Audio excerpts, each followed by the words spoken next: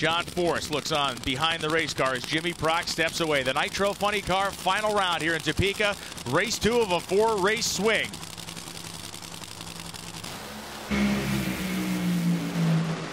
Beckman's going to try to take it to the mat, and it's Robert Hight. 3.895 seconds at 330 miles per hour.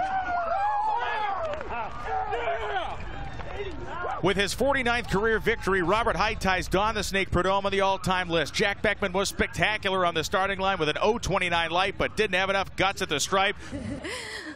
Well, as Jack Beckman comes in for a fist bump for the national event winner, Robert Hight. Robert, you now are the owner of half of the Wallies of this season. At a track, you got your funny car license. What's the ceiling for your team this year? Oh, this, this place is unbelievable. I started with John Force uh, 25 seasons ago at this track. Flew in here, met Bernie in Austin, and, and went to work. And then John gave me the opportunity to drive this Auto Club Chevy. Luckiest guy in the world. But you know what's more nerve wracking? That final right there was throwing that first pitch out the other day at the Royals game. That is crazy. Everybody out there is just waiting for you to screw up. So, want to thank everybody AAA, Auto Club Chevy, Cornwell Tools, Denso, everybody. Thank you. Yeah!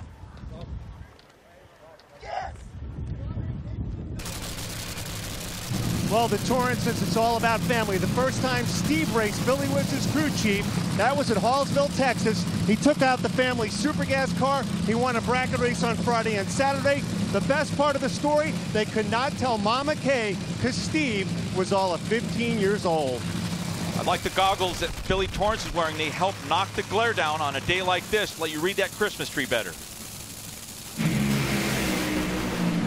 Steve Torrence off first by a few thousandths of a second, and his dad runs down the racetrack behind him at 3.76 seconds. Steve Torrence is now five races along in an incredible, incredible streak that shows no signs of abating whatsoever. By 81 ten thousandths of a second, Steve Torrence beats Billy Torrence and says, Pops, get out of the way, we're racing here.